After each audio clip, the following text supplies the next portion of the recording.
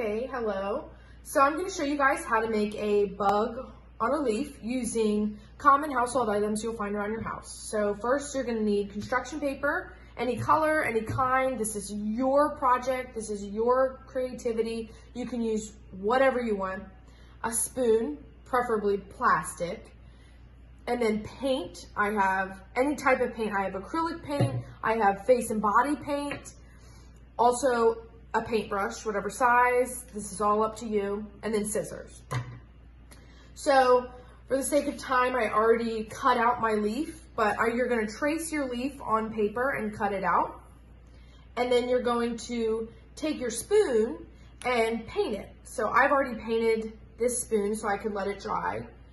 And I have my bug here and the long end of the spoon is the stem because it's gonna show down out of your leaf.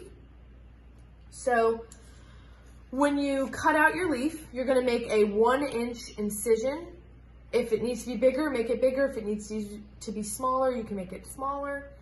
And then you're going to cut it with the scissors and slide your spoon in there.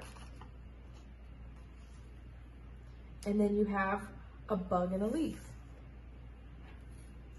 and you can decorate your leaf however you want to decorate your leaf when you put the bug in there. And if you want to keep painting your bug, you can keep painting your bug, but that is how you make a bug on a leaf.